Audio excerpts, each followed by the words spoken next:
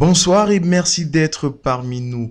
Richard Bona, bassiste de renommée internationale, qui avait changé sa nationalité camerounaise pour prendre celle ghanéenne. Ce dernier, lors de la rencontre Cameroun-Algérie, a fait un énorme pari qu'il a perdu, bien évidemment. À l'entame de la rencontre qui opposait les Fennecs d'Algérie aux Lions Indomptables, le célèbre bassiste camerounais d'origine a parié contre son équipe, les Lions Indomptables, qui jouait l'Algérie.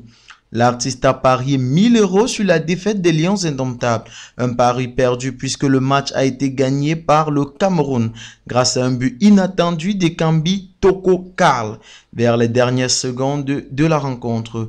Bona s'attendait à une grosse désillusion et défaite des Lions Indomptables mais il sera déçu.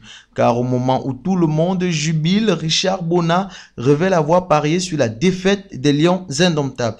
Et bien maintenant, je prends mon paracétamol. Les Fennecs n'ont pas suivi la consigne finale. Chanceux va. Bravo à vous. Franck, t'es le seul à avoir osé parier 1000 euros avec moi. Bravo, bro, à toi aussi. Deux paris perdus sur 39 au total a-t-il écrit sur sa page Facebook. On peut ainsi voir l'humilité du bassiste Richard Bona qui reconnaît avoir perdu et partage avec ses fans sa mésaventure. Restez connectés sur Cameroun Magazine pour de plus amples informations. N'oubliez pas de vous abonner et surtout de cliquer sur la cloche de notification. Likez la vidéo si ce n'est pas déjà fait. Laissez aussi votre point de vue en commentaire.